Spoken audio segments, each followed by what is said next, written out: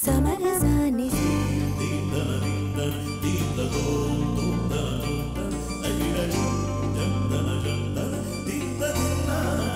നീ അവരിൽ നിന്നൊക്കെ വ്യത്യസ്തനാ